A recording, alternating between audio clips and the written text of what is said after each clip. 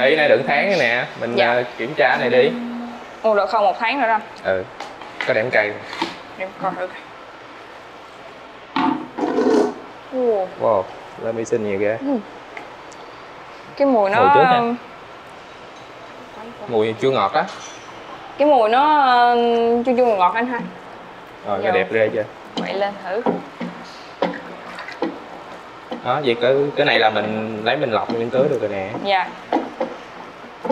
mà phân ủ thì ờ, phân bánh dầu hay là các đạm cá hay là đậu tương cũng vậy. Nghĩa là càng ủ lâu thì nó càng tốt thôi. Dạ. Mình giờ mình sẽ dùng bao nhiêu thì mình sẽ lọc bấy nhiêu rồi mình xài á. Cái này thì mình ủ xong rồi cái mình để đây ờ, là là cái thời hạn sử dụng của nó thì ờ, tối ưu là bao nhiêu anh cường? Thường thì mình sẽ sử dụng trong vòng khoảng 6 tháng á. Nhưng sau đó thì có thể nó sẽ dậy mùi lại. Nó vậy mùi lại rồi mình thêm EM AG vào với lại mật rỉ đường nè ừ cái lúc mình sợ mùi thì mình thể thêm vào. Nhưng mà thường ủ nếu ủ nó đẹp như thế này á là nó không bị mùi luôn á. Ồ. nó ra nó ra nhuyễn quá ha.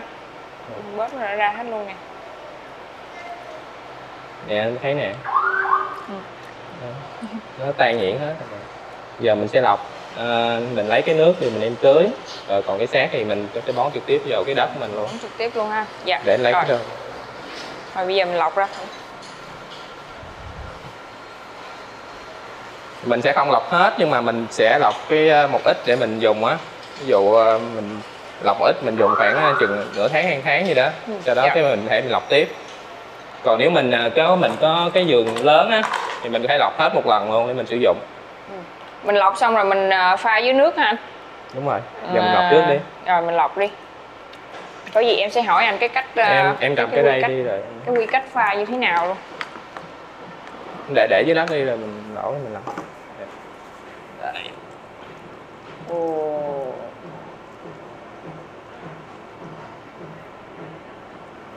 Mình đang rây bột làm bánh. Từ từ rớt dưới.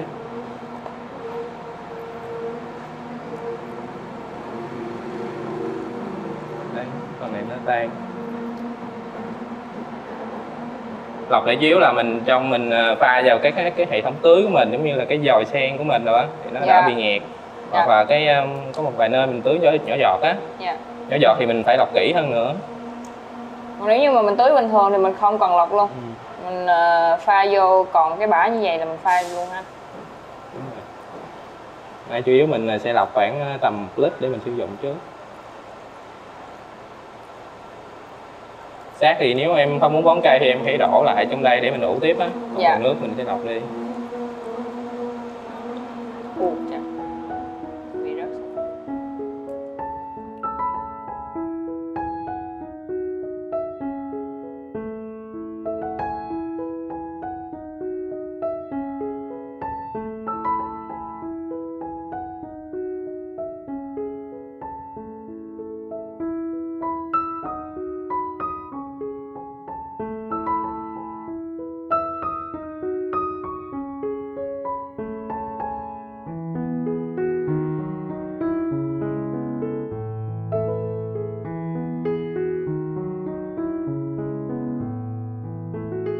Rồi để giờ mình ờ, lấy cái nước này ra mình, mình tưới nha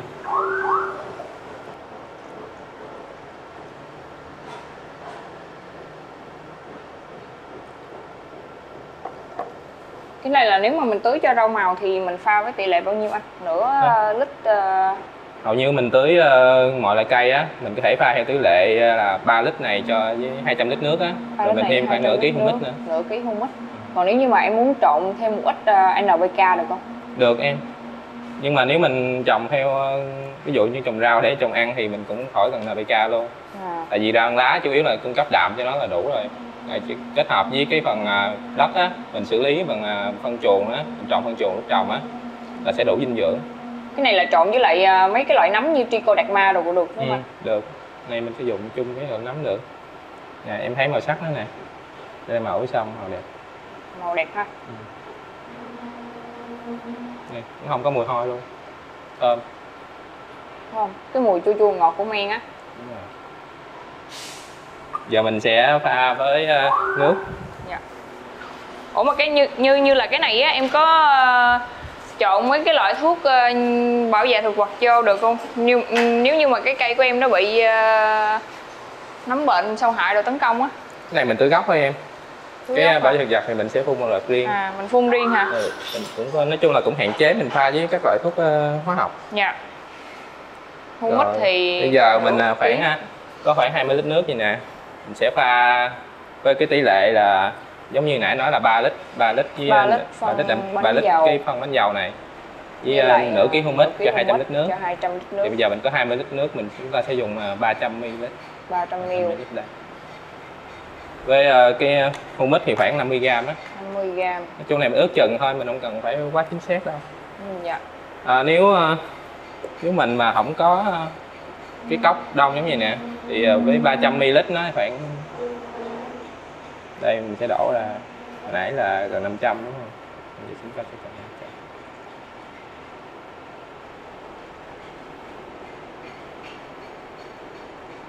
đây còn 700 đó 500 ml thì một cái chai chai hình như chai này ba trăm rưỡi á. Dạ. Đó thì à, 300 phải như đây hôm bữa anh có nói với em là cái thành phần mà sau khi ủ bánh dầu á, là còn à, là những gồm những cái thành phần gì á? Ừ. nói chung cái độ hữu cơ của nó khoảng 35 phần trăm á. 35%. nhưng mà cái mình ủ xong nó sẽ còn là cái amino acid á. Nghĩa là cái phần đạm nó sẽ phân hủy ra. Ờ, về cái khoáng chất thì nó sẽ ít hơn cái hàng độ ờ, đậu nành tại vì đậu nành nó còn nguyên còn này là nó đã bị ờ, Bị ép đi rồi. ép ép ép đi ép để lấy dầu rồi các khoáng chất cũng ít hơn. Nhưng mà Rồi. nói chung nó vẫn là tốt. Dạ. Nó bây giờ đạm vào thực vật. Đây là 300 mình bón cho rau màu rồi cây ăn trái đồ này kia là cũng là tỷ lệ à, như hồi nãy anh nói luôn hả? Đúng rồi em. Nó tỷ lệ mình dùng tỷ lệ chung nó dễ sử dụng.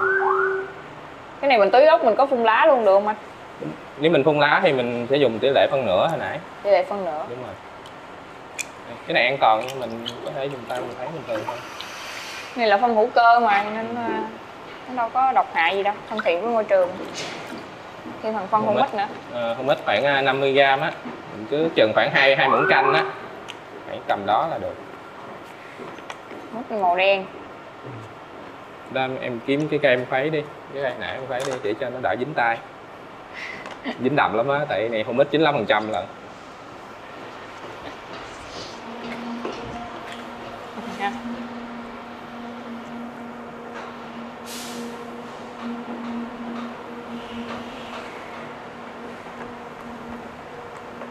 không ít ờ, nó đậm đặc nên nó sẽ tạo một cái lớp màng dầu dầu giống như nè. Nhưng mà nó pha nó tan hoàn toàn thấy không? Dạ. Bỏ cho nó tan hết rồi. Ủa anh em có thắc mắc đó là em cho em hỏi thêm cái thằng humus cái.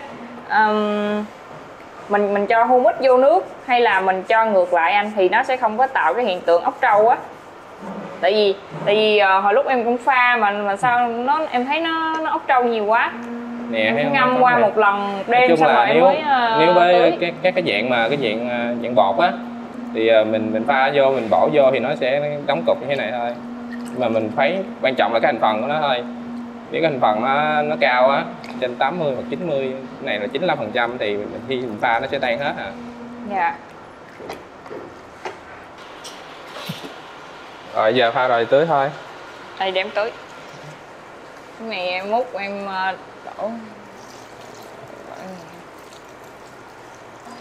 cái này cũng hơi đậm á nếu mình tưới xong Dạ. cái mình phun nước sơ sơ lại phun nước sơ sơ lại. Đúng rồi. Vẩy nước sơ sơ lại cho nó rớt cái kia xuống thôi. Em khỏi vẫy luôn được không anh? À, thổi vẩy thì cái cái hung mít nó đen á nó dính lên lá á. Có thể bị nắng xuống thì nó bị cháy lá nếu bị dính nha. Cái rau này ăn được luôn rồi nè. Dạ lắm rồi. hỏi bữa em làm biến cắt quá cho nên em để vậy luôn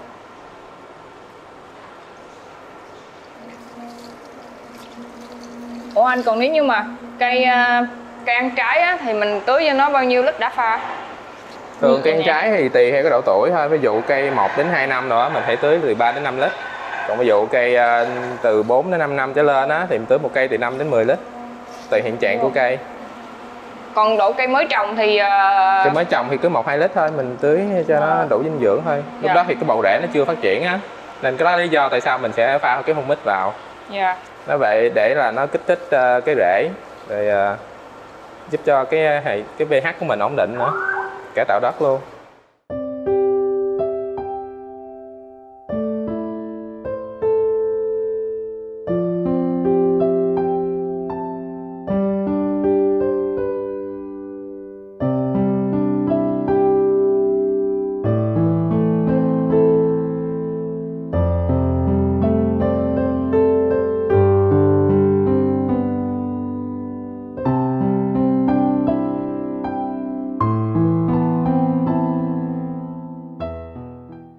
Rồi bây giờ em tưới xong rồi đó anh bây giờ là mình tiếp theo là mình làm cái gì nữa? Ờ cái này nó co động trên lá nè. Giờ em chỉ cần À. vẩy cái nước nước sạch mình lên thôi tưới sơ nước sạch lên cho nó rớt này xuống thôi. Giờ xịt sơ cái lớp nước qua là được. Ờ đúng rồi. Ờ ủa hôm, hôm, hôm, hôm, hôm bữa là mình ủ hai cái men là men gì anh giới thiệu lại cho em được không?